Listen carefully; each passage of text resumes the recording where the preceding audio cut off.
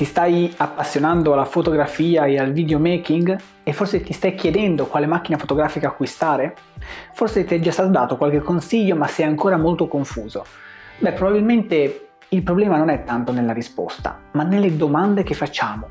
Sì, perché chiedere quale macchina fotografica è meglio acquistare molto spesso può essere fuorviante, anzi a volte può essere anche controproducente perché effettivamente la miglior macchina fotografica è indubbiamente quella forse appena uscita, quella con la tecnologia migliore, quella col sensore più performante, con il chip più veloce, con la scienza colore più raffinata. Ma effettivamente quello che fa il caso tuo? Sei disposto a spendere migliaia e migliaia di euro per iniziare a scattare con una macchina fotografica di questo tipo? Forse potrebbe essere inutile o, come abbiamo detto, forse anche controproducente. Perciò oggi cerchiamo insieme di fare un po' di chiarezza per comprendere effettivamente quale domande dobbiamo porci e quale categorie di macchine dovremmo andare a ricercare, così da conoscerle un po' nel loro insieme e capire quelle che potrebbero fare al caso tuo. Innanzitutto c'è da comprendere qual è lo scopo per cui voglio fare fotografia. Voglio semplicemente fotografare altri? Voglio fare anche video di una certa qualità? Mi interessa farlo per passione a livello individuale o forse voglio iniziare a imparare a utilizzare i settaggi del campo della fotografia per fare uno step successivo, per passare magari a utilizzarlo in ambito professionale o perché no, per trasformare la mia passione in un lavoro. Beh, queste sono domande fondamentali anche per capire che tipologia di budget ci vogliamo porre quando vogliamo acquistare una macchina fotografica ormai ne esistono davvero di tutti i tipi e di tutti i modelli. Possiamo però iniziare a suddividere due macro categorie di macchine fotografiche che potrebbero fare al caso nostro. Ad esempio abbiamo le fotocamere compatte, fotocamere come questa, fotocamere che effettivamente eh, hanno tutto incluso nel loro insieme. Ci sono di bassissimo livello e ovviamente se sei un appassionato te le sconsiglio, ma ci sono anche macchine fotografiche compatte come questa che hanno davvero una buona qualità. Questa ad esempio è la RX100 Mark IV, ne sono usciti diversi e svariati modelli con eh, prestazioni differenti, ma già questa include la possibilità di avere un obiettivo zoom incluso all'interno del corpo macchina, fisso, che non si può cambiare, ma che permette di avere la possibilità di iniziare ad approcciarci ai settaggi classici delle macchine fotografiche, ovviamente se utilizzate in modalità manuale. Per chi è rivolta questa macchina fotografica o questa tipologia di macchine fotografiche?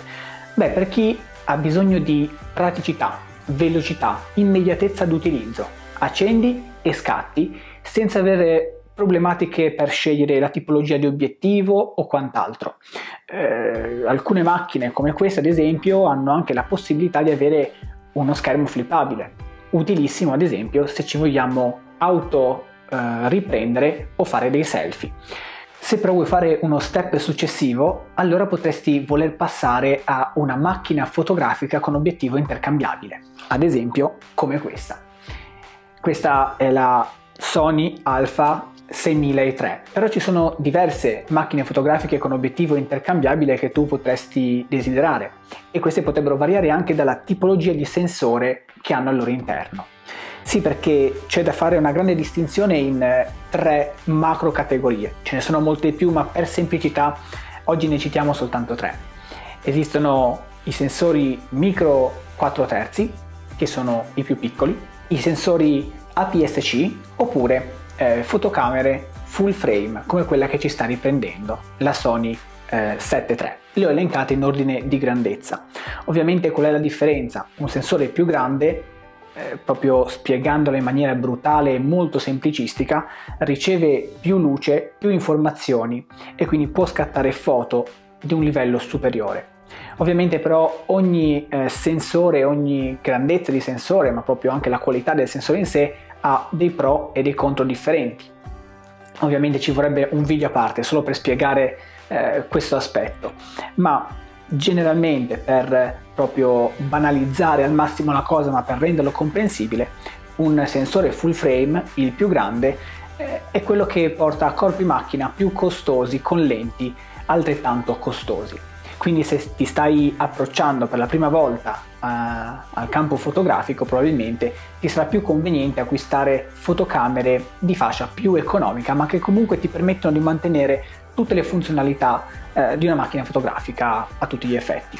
A questo punto come fare a scegliere? Una volta che abbiamo stabilito che tipologia di macchina fotografica avere, eh, dobbiamo comprendere che ogni macchina fotografica che c'è in commercio è stata sviluppata per eh, inserirsi in un settore particolare. Ad esempio, sei interessato a fare fotografie prevalentemente a persone, allora comprerai una macchina fotografica e un obiettivo di un certo tipo. Sei interessato forse a fare prevalentemente video, ci sono macchine che hanno una predilezione per eh, l'aspetto video. Forse ti piace eh, scattare in eventi sportivi? Ci sono macchine fotografiche che hanno la capacità di avere raffiche di scatti particolarmente elevati mantenendo un ottimo autofocus, ad esempio. Oltretutto devi comprendere qual è il tuo uso prevalente della macchina fotografica.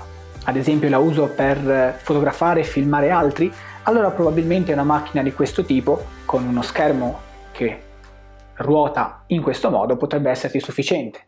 Oppure eh, filmi te stesso o prefer- prediligi fare selfie o foto di gruppo in autonomia, beh allora probabilmente ti sarà necessario avere eh, uno schermetto flippabile. Prendersi una macchina fotografica e iniziare a scattare non fa di te né un fotografo né qualcuno che produce buone fotografie dietro al mondo della fotografia c'è tutto un processo anche di post produzione che porta a dare eh, il massimo, il massimo della qualità alle foto che noi scattiamo con i nostri dispositivi. Quindi se non sei ancora pronto ad approcciarti a questo campo, forse a studiare, a comprendere come poter migliorare le tue fotografie e dedicare anche del tempo alla post produzione, e soltanto queste parole forse ti stanno facendo venire un gran mal di testa, allora forse questi non sono gli strumenti adatti a te eh, possiamo ricordare che oggi abbiamo degli smartphone, forse di ultima generazione, che ci permettono di fare foto incredibili. Anche con quelle possiamo iniziare ad avvicinarci a questo campo, forse semplicemente impostando il nostro smartphone nella sezione della fotocamera in modalità manuale, iniziando un pochettino a giocare con i parametri per comprendere come cambiano eh, le scene, le immagini in base ai settaggi che andiamo ad impostare.